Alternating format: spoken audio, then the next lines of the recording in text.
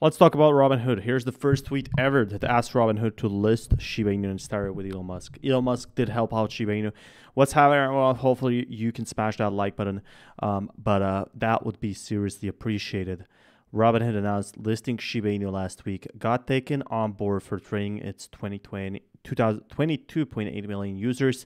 The listing doesn't come in a day and was a collective effort of a community. But how exactly did all of this happen?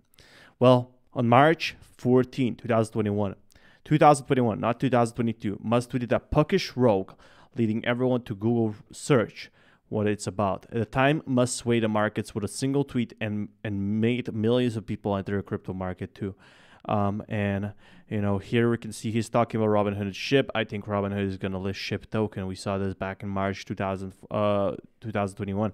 Uh, while everyone was trying to decipher what it means, a user named commented the poem as a reference to Robinhood listing Shiba Inu. If we shadows have offended, think about this. All is mended. That we could despair here when the visions did appear. And this week, an owl team no more yielding, but a dream. Gentles do not apprehend. If you're a pardon, we will mend. An honest buck, if we can have another luck to, to escape the serpent's tongue, we will make amends ere long. Else the puck a liar, so good night unto you all.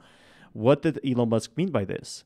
He's talking about Robinhood and Shiba Inu. I think Robinhood is going to list SHIB token.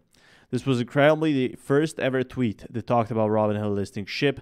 Elon Musk unknowingly gave birth to Robinhood listing Shiba Inu campaign with a puckish rogue um, and I didn't know this before. I didn't know this would mean that Robinhood is gonna uh, list Shiba Inu, but he made like a poem, and it could very well be connected. But uh, after that, just a handful of tweets came out under Robinhood CEO Vlad Tenev's post asking SHIB to get SHIB on board. Things took off in May 2021 after an investor launched a petition for Robinhood to list SHIB. The campaign received 50,000 signatures and then 500,000, so half a million people standing together. It did do a spike. Did it save SHIB?